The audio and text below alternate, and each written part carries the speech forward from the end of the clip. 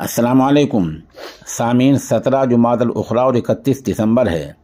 ख़बर का उनवान है, इसराइल की नई चाल काम आई और टैंक नहीं बच पाया।